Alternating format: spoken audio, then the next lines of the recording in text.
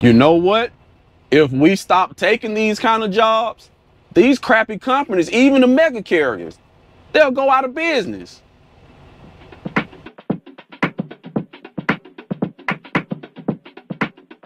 Yo, what's going on, YouTube family? Thank you for tuning in today. I'm Walter. You're locked in to B2 Speaks. Today on the calendar, we have to talk about none other than Schneider National. Schneider National, aka my former employer, probably about eight years ago, I think. I have first hand knowledge about how crappy Schneider is and some of the crazy policies that they have there if you don't understand why the industry is where it is today, if you don't understand why the pay is so low and a good chunk of the industry, and let me just say this, I'm not talking about you guys. I always get these guys in these comments and stuff when I talk about truck driver pay. And I always get the guys that drive for XPO, FedEx, Saia, Estes, R+L, um, UPS, these LTL carriers who jump in and start talking about, oh, I make $27 an hour, I make $30 an hour, I make $32 an hour. You know, those jobs, guys, and I've worked for a LTL company. I've been there, I've done it. I've been driving almost 10 years. And let me tell you this, it's no better than driving over the road with one of these over the road companies. You still have to put up with the same craziness that over the road drivers have to put up with at these companies. So, but those jobs are few in between. Is not many of those LTL jobs out there. Until the world ends, it's always going to be more over the road drivers than there are local drivers. That's why I spend the bulk majority of my time, even as a local driver myself. I drive a sleeper truck, but I'm a local driver, semi-local. I spend most of my time fighting for older road drivers because those are the guys who are the backbone of the industry. Those are the guys who, if they all quit, we're all screwed, no matter if we're local or not. Uh, so that's why I push for better treatment of these guys who are over the road because they oftentimes get looked over and they are the backbone of the industry. But of course, these companies, they don't care. Companies like Schneider. Now, I'm going to put on the screen here Schneider's pay for over the road drivers, basically. They call it regional, but the way that this job is laid out, it's a home every other week which means you're out two weeks. That's over the road.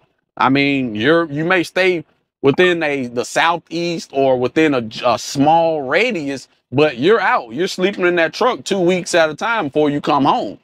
Let's look at just what companies like Schneider is paying guys to get them to go run over the road here in 2024. This is what these guys are offering truck drivers, and it's sickening. As you can see, this is a regional truckload driver position here in the Atlanta area. And as you can see, the home time says every other week. So every other week, that's going you're gonna get home uh every two weeks, basically. And look at the pay. Look at the pay, guys. Look at the pay. Thousand dollars a week. But between a thousand dollars and twelve hundred dollars a week. Now, this is what these companies do when they put average pay in all of this stuff. They're not kidding you. What they are saying is the guys that they have in this particular role, this is what they're making. Now they would say, oh, you know, average is just average. Guys are making way more than that. Guys are making less, far uh, less than that. But that's just an average of the group of drivers that we have within this particular driving role. And they will say, well, if guys, you know, guys who go and they they work harder, they stay out longer than every other week, they stay out longer. Well, wait, wait, wait, hold on. If I'm taking a job because I want to get home every other week, then why would I take a job that requires me to stay out longer in order to make money? I took a job because I wanted to be home every other week. So why would I take a job and say, you know what? I want to stay out four weeks now. I want to stay out six weeks now. Why would I do that? That's crazy. So no drivers, probably very few drivers do that. But just take a look at that. A thousand dollars a week, guys, to be gone two weeks at a time. To basically be gone two weeks. And a thousand dollars a week to drive a truck. To drive a truck now, you know, that's crazy. And that's the problem. This is the problem with the industry, man. This is what has diminished the value of drivers. This is why uh, we can't make advances within the industry when it comes to better pay, better benefits for drivers and all of that. It's because of stuff like this. And again, as I spoke about in my previous video, these companies do it because these guys are getting applications on top of applications on top of applications from drivers to go and fill these roles. That's why they're able to keep paying you. They have they can keep paying you. Why would they pay you? Why wouldn't they say, okay, we're gonna give this guy who we hire for this basically over the road? They say regional, but that's over the road, being home every two weeks, basically. That's over the road.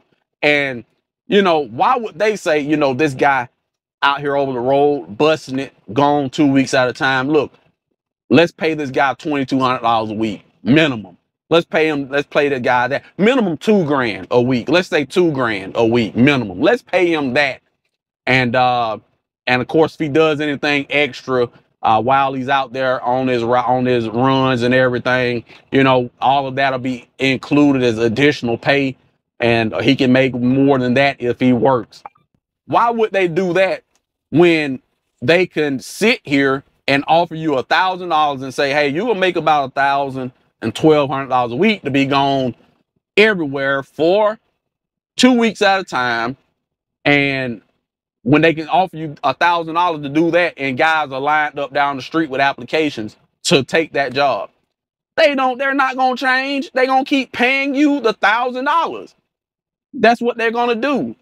You know, so that's what I'm saying. We got to stop taking this stuff. If there are no butts in the seat of these trucking companies that suck and pay drivers like this, a thousand dollars a week, man, man, that's 2008 money. That's like, well, not two, I would say 2010, 2000 and the early 2000s, maybe. You know, that's ridiculous that companies are offering that to professional truck drivers. And so I don't get mad though. I don't get mad about that because it's the drivers who go line up to fill out applications and take these positions. If we stop doing that, these companies will have to up the pay. They will have to up the pay if they want to get drivers, or they'll simply go out of business because they won't have the drivers. And that's what I'm vouching for. Don't go there. If they're not going to change, don't go there and drive for them. Don't drive for them. Let them go out of business. A thousand dollars a week. I was looking up, I was going through Indeed and I came across that a thousand dollars a week. You know what I'm saying? That's ridiculous to drive. I want Walmart employees are making that amount of money. If you go and bust it, you can work at a warehouse down the street at your house if it's one in your area you can go work in a warehouse and drive a forklift, you know, moving pallets around a building for a thousand dollars a week. And you ain't got to worry about all these stupid regulations. You don't have to worry about the dangers of possibly getting into an accident out here and God forbid killing somebody. And if you're at fault, you end up in prison the rest of your life. You know, you ain't got to worry about all that. You can go make the same amount of money working at Walmart or Target or BJ's or Costco's, wherever. That's the problem with the industry. Uh, these companies don't care. They're willing to pay you peanuts and they're still able to get drivers. And I don't understand it. You know, even where I am now, I don't make great money, but I make okay money. You know, I do okay. It's enough for me right now. Stop getting in the seat of these companies. Stop applying. Let them go out of business. If they don't want to keep up with the times, you know, if they don't want to pay you like the licensed professional that you really are, especially if you are an experienced driver, you know, and somebody is offering to pay you a thousand dollars a week, and don't go drive for that kind of company. Let them increase their pay or not be able to recruit drivers and go out of business. It's that simple. These companies, it's the mega carriers. There's a lot of the carriers out there these days that's doing it. But Schneider, I know that this is true at Schneider because it's here. And also I worked there and I can tell you that was the worst period of time. They are the worst company to drive for. I wouldn't say worst, but they are one of the worst companies that I've driven for. Uh, they have a stupid cell phone policy. They have a stupid uh, headset policy. You can't even talk on the Bluetooth headset hands free there. They just are a stupid company, man. And I can say that uh, with my whole heart because I drove there and they are about the worst that you'll ever find. What do you think about it? You know, but what can you do besides not drive there? Yeah, guys, I'll catch y'all on the next one. And remember, don't be offended. That's just how B2 speaks.